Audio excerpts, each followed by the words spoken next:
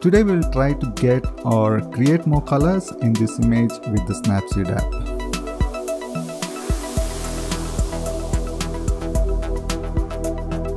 We're going to apply a lot of selective masking to get to the final result. But we're going to start with some basic tuning in TuneImage. I'll reduce the highlights a bit to get some details in the sky. You can notice here some more details in the clouds. Increasing the shadows to brighten the darker areas.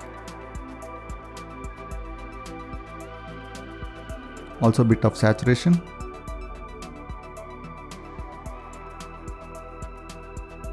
Now I'm going to darken the sky a bit. Going to curves. Pulling the curve down, also the top point too to darken the overall image. Now going to the masking screen. Tapping on the stacks icon, view edits, curves and brush. Here with the effect disabled and brush value at 100, brushing on the top part of the sky to get the curves effect.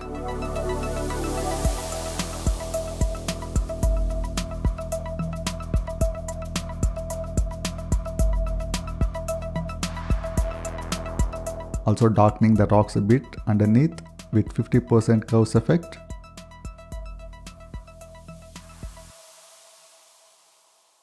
Now I'm gonna give more pop to the rocks below. Going to tune image, increasing the brightness and contrast.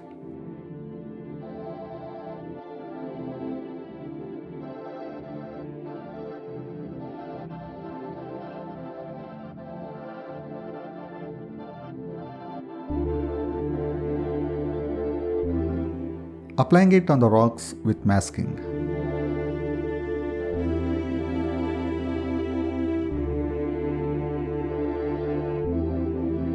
Notice the difference here. To give some haze effect around the horizon in curves lifting the blacks which gives that faded effect.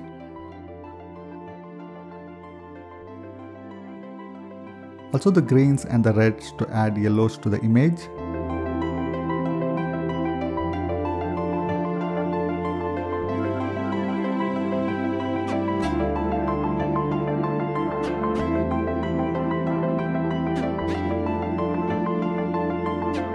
Going to the masking screen.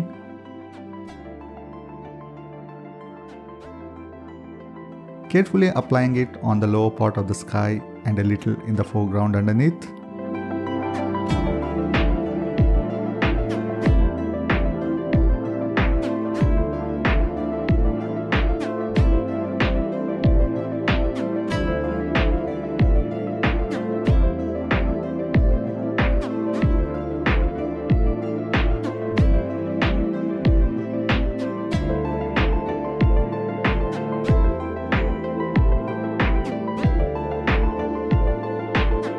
Using curves, I'm gonna try adding warm colors to the just created bright part of the sky, pulling the upper part of the blue curve down which adds yellows to the highlights.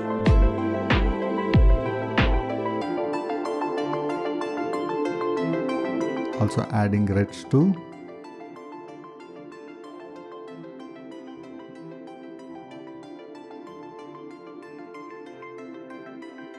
So with this we added colors to the brighter parts of the sky.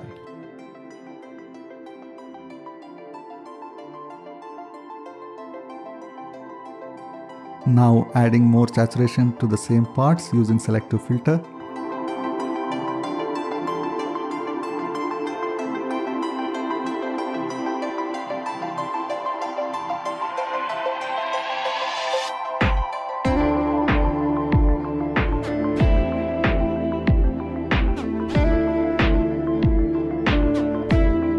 Bit of masking work here mainly to remove the warm saturated colors on the structure.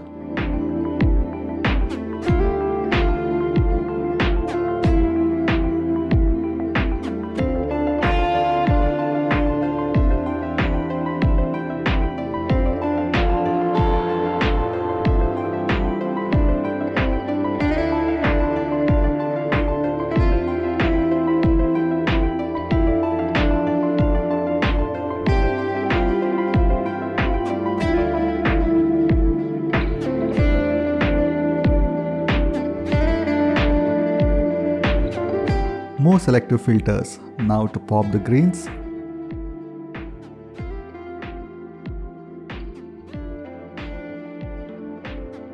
Adding some brightness and more contrast to make them pop.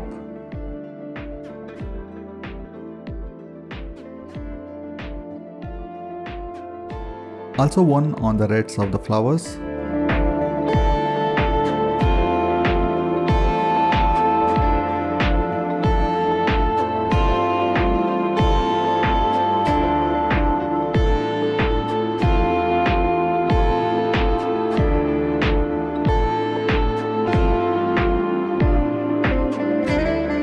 On this small pot here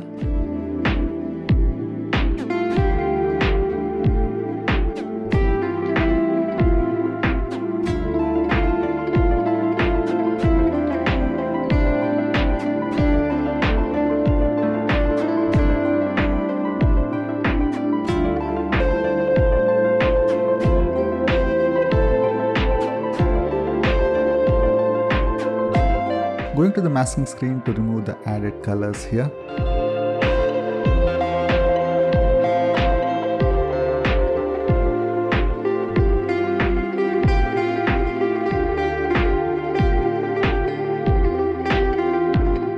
Now I'm going to make some parts darker which makes the image more interesting.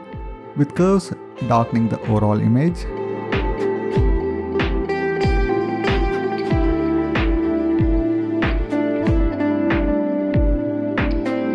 going to masking screen and applying the effect on these darker parts which makes the other parts pop.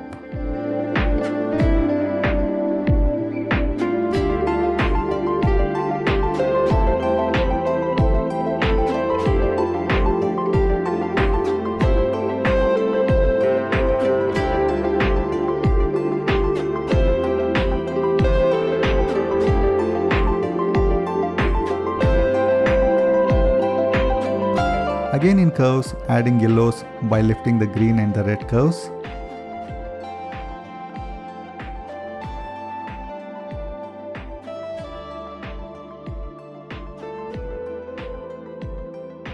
Applying it to create a bit of warm haze.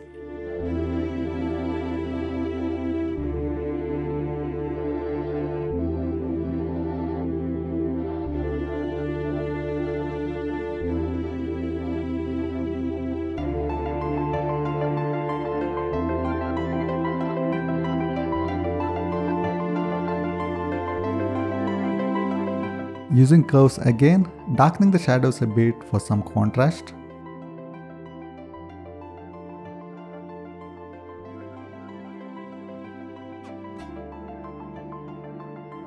I'm gonna add more haze to the horizon again with curves and masking.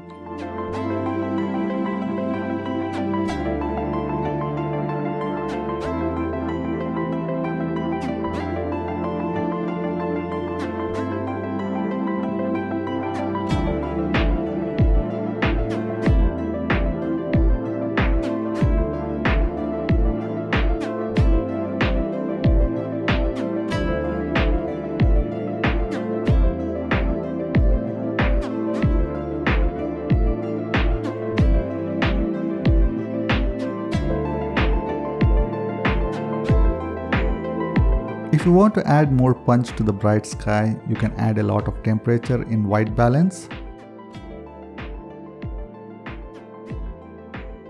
And then applying it with masking.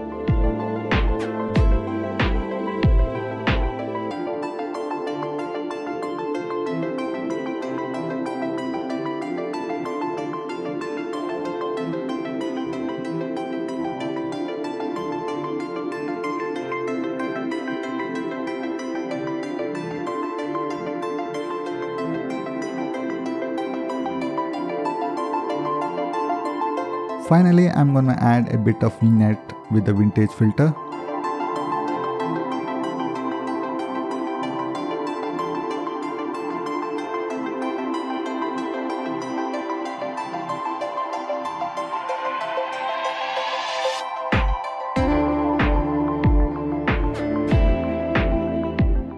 These are the changes after each effect applied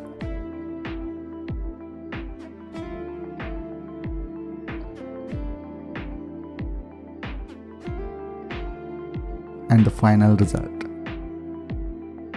Thanks for watching.